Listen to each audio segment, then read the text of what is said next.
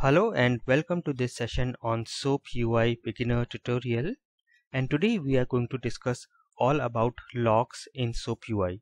So we will see what are the different types of logs in SOAP UI and we will also see how can we see the SOAP UI and the error log files. So let's get started and let me open my SOAP UI. So the SOAP UI is up and I will just close this starter page and here if you go down and if you see here at the bottom you have these logs so you have soap UI logs so all the general logs of soap UI will be found here. You also have HTTP logs so whenever you run a request that has any HTTP interactions all the HTTP logs will be present here. We have jetty logs error logs WSRM and memory logs so in SOAP UI in your regular working the most useful logs tab will be the SOAP UI logs and the error logs and also sometimes HTTP logs. So let us go to the project and if you go inside the project and if you go to test suites here again you can see the test suite logs here. Along with all these logs you have now a test suite specific log here. So when you will run this test suites from the project you will have a test suite log here you can clear the log. You have options to set the maximum number of rows in the logs. And in case you just want to log the errors you can select this log only test steps errors in the log. You also have an option to export the logs to a file. So whenever you have some logs here you have the option to export it to a file. If you go inside a test suite you again have the test suite logs option here. So this is the same as we have seen at the project level.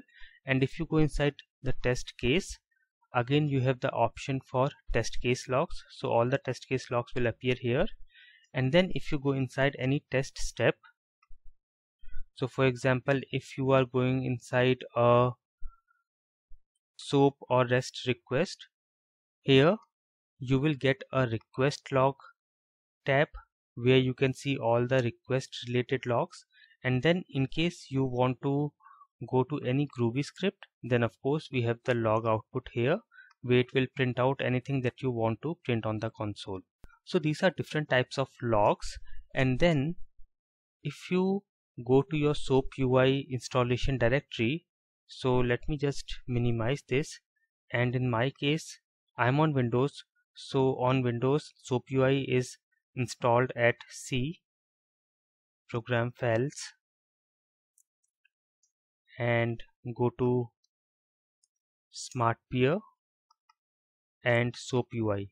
Inside the SOAP UI folder, you can go to your SOAP UI folder wherever it is located and inside this you have a folder called bin. So if you go inside bin, you will have a file called SOAP UI log and then you will have a file called SOAP UI error log so you can open this file into any of the text editor. Let me open it with notepad and you can see it has all the logs. So whenever you want to do any troubleshooting or whenever you want to look at any information you can open this file. So the logs in this file gets created uh, during the session of SOAP UI and you will find all the logs here.